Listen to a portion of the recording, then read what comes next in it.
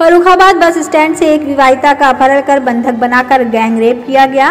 विवाहिता दो माह की गर्भवती है। चार युवकों ने 16 अगस्त को नशीला पदार्थ सुखाकर अपहरण कर लिया था। शुक्रवार तड़के पीड़िता आरोपियों के चंगुल से भागकर फरुखाबाद के राजेपुर के बहादुर गाँव पहुँची और ग्रामीणों को आप बीती बताई।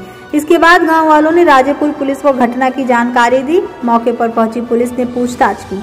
फिर पीड़िता को लेकर हरदोई के मूर्छा कटरी गाँव पहुँची, जहाँ विवाहिता को बंधक बनाकर रखा गया था। पुलिस जाँच पड़ताल में लगी हुई है। बहादुरपुर गाँव में ग्रामीणों ने कहा, पीड़िता जब आई तो बदहवास हालत में थी, उसे कुछ भी सही तरीके से याद नहीं है।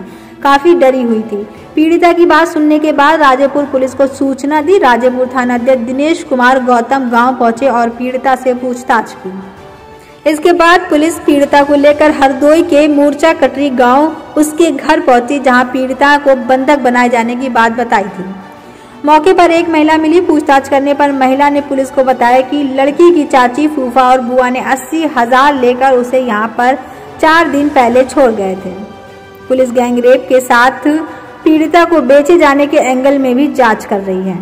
फरुखाबाद के एसपी अशोक कुमार मीणा ने बताया कि महिला ने बंधक बनकर रेप का आरोप लगाया है। शुरुआती पड़ताल में उसकी बुआ फूफा व चाची के द्वारा उसे बेचे जाने की बात सामने आ रही है।